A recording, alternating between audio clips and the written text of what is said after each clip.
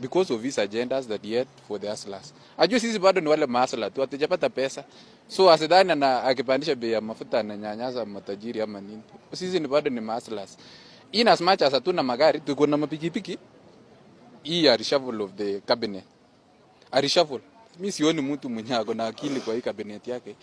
The only person mwenye ni kama ako na akili si mbaya sana ni Kithure Kindiki. Uh, msisimuko fulani yenye tulikuwa nayo, lakini sasa manifesto yao imekuwa different. Tunaomba eh, bwana president, tafuta tafuta Uhuru, muongee naye, alikuwa anafanya aje mambo, seek advice, kwa sababu Uhuru alienda. Uhuru bwana, tutafute bwana, tu- tusamee bwana. tuko na mtu anaitwa Didi Nyoro kasema hii serikali remind William Ruto one thing.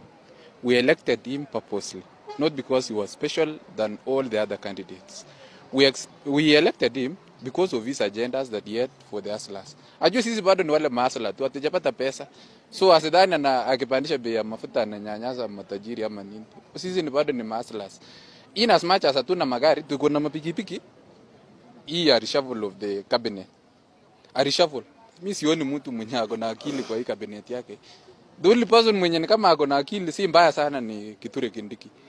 At least he is doing so. We are seeing what he is doing. Lakini hizi zingine hizi hakuna mtu ako serious. Moses Kuria mtu tu anatoka tu bana kwenda studio na kuongea nonsense. Kama kama hakuna mtu mwenye ako normal kwa hiyo serikali yake, kama hakuna mtu mwenye ako normal, we have technocrats, people who can think, people who can reason, people who can assist William Ruto to deliver. Hatutaki alafu kesho 2027 akuja hapa hivi inakuwa kazi ngumu kuomba kura kwa sababu ya ujinga yenye wanafanya na hii makabineti yake. Nashindwa, mbona hii Kenya Kwanza tulichagua na msisimuko fulani yenye tulikuwa nayo, lakini sasa manifesto yao imekuwa different.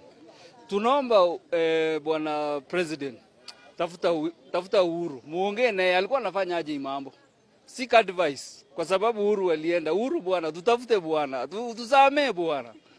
tuko na mtu anaitwa Didi Nyoro kasema hii serikali mafuta imewekwa bei nzuri, Tukifika kitu ya kwanza kutambulisha mafuta, mafuta imepanda, na juzi badala ya tutulizwe roho kuli ameongea mheshimiwa mjumbe wetu wa Katundu anasema ati mafuta ati itaongezwa kila mwezi kila mwezi shilingi kumi kumi. Sisi tunaenda wapi? Mwananchi wa kawaida ameumia sana sana sana, kusema ukweli. Sasa gari za hizi pemada, kila kitu imepanda, hata fata- tunaambia fataiza ikiteremshwa ikiteremshwa bei na vile kila kitu imepanda, sisi tutapata nini? Mwananchi wa kawaida ako chini na sisi tumeumia. Sisi tunauliza kama itawezekana, hata kama hii subsidy irudi kabisa kabisa kabisa, kama serikali inatu- ina- inatu- ina- inatuangalilia na ina- inatufikiria mambo yetu, warudishe subsidy ndio mafuta iteremke, kila kitu irudi chini, mwananchi wa kawaida aumie. Sasa si bottom up, ni bottom hata tumeumia, hata tujui tutasema nini, na tuliambiwa ni bottom up.